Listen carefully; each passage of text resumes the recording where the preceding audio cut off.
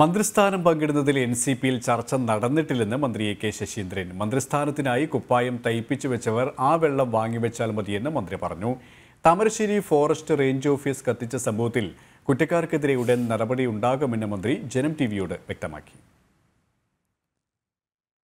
സംസ്ഥാന മന്ത്രിസഭയിൽ പുനഃസംഘടനയുമായി ബന്ധപ്പെട്ട് തർക്കങ്ങളും വിവാദങ്ങളും തുടരുന്നതിനിടെയാണ് നിലപാട് വ്യക്തമാക്കി എ കെ ശശീന്ദ്രൻ രംഗത്ത് വന്നിരിക്കുന്നത്.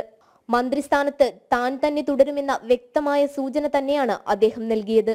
മന്ത്രിസ്ഥാനത്തിനായി അവകാശവാദം ഉന്നയിക്കുന്ന Kuttanad M L A Thomas K തോമസിനെതിരെ രൂക്ഷ വിമർശനവും അദ്ദേഹം നടത്തി.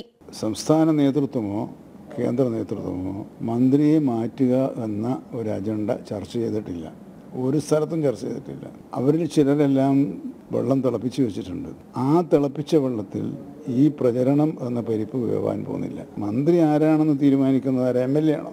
അത്തരം ഒരു ആഗ്രഹം അദ്ദേഹത്തിനുണ്ടോ ഇല്ലയോ എന്നുള്ളത് നമ്മൾ അന്വേഷിക്കേണ്ട കാര്യമില്ല. ഇനി അദ്ദേഹത്തിന് അങ്ങനെയുണ്ട്. അദ്ദേഹം അത് എനിക്ക് ഉപദേശിക്കാനുള്ളത് അദ്ദേഹം സംസ്ഥാന കേന്ദ്ര നേതൃത്വത്തെ സമീപിക്കുക. മന്ത്രിസ്ഥാനം സംബന്ധിച്ച് എൻ സി പി സംസ്ഥാന ദേശീയ നേതൃത്വം ഇതുവരെ ചർച്ച നടത്തിയിട്ടില്ല. ചിലർ മന്ത്രിസ്ഥാനത്തിനായി കുപ്പായം തയ്പ്പിച്ചിട്ടുണ്ട്. ആ വെള്ളം വാങ്ങി വെക്കണമെന്നും അദ്ദേഹം പറഞ്ഞു. വകുപ്പ് മാറ്റവുമായി ബന്ധപ്പെട്ട് മുഖ്യമന്ത്രി ഒന്നും പറഞ്ഞിട്ടില്ലെന്നും ചർച്ച നടന്നിട്ടില്ലെന്നും അദ്ദേഹം പറഞ്ഞു. അതേസമയം താമരശ്ശേരി ഫോറസ്റ്റ് റേഞ്ച് ഓഫീസ് കത്തിച്ച സംഭവത്തിൽ കുറ്റക്കാർക്കെതിരെ ശക്തമായ നടപടി ഉണ്ടാകുമെന്നും മന്ത്രി വ്യക്തമാക്കി. ആ വിധിയെഴുത്തിൽ ഒറ്റനോട്ടത്തിൽ മനസ്സിലാക്കാൻ കഴിഞ്ഞത് കേസ് തെളിയിക്കുന്നതിൽ പ്രോസിക്യൂഷന് വീഴ്ചയുണ്ടായിട്ടുണ്ടെന്നുള്ളതാണ് രണ്ടാമത്തതായി ശ്രദ്ധയിൽപ്പെട്ടത് വനം വകുപ്പിലെ ഉദ്യോഗസ്ഥന്മാർ കൂറുമാറി എന്നുള്ളതാണ്. ഈ കൂറുമാറി എന്ന് പറയുന്ന നാല് പേർ ആ നാല് പേരുടെ നടപടി പേരിൽ നടപടിയെടുക്കാൻ തീരുമാനിച്ചിട്ടുണ്ട്.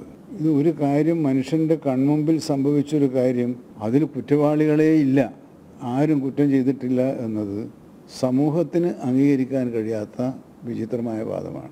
അതുകൊണ്ട് തന്നെ അത് ഗൗരവത്തിൽ സർക്കാർ പരിശോധിക്കും. നാല് ജീവനക്കാർക്കെതിരെ വനം വകുപ്പ് അച്ചടക്ക നടപടി തുടങ്ങി. ഇതിൽ രണ്ടുപേർ വിരമിച്ച ജീവനക്കാരാണ്. ഇവർക്കെതിരായ നടപടി വകുപ്പിലെ ഉന്നത ഉദ്യോഗസ്ഥരുമായി ചർച്ച ചെയ്ത് തീരുമാനിക്കും. കേസിൽ കോടതി വിധി പരിശോധിച്ച് പുനർവിചാരണയുടെ സാധ്യത തേടുമെന്നും അദ്ദേഹം പറഞ്ഞു. ജനം കോഴിക്കോട്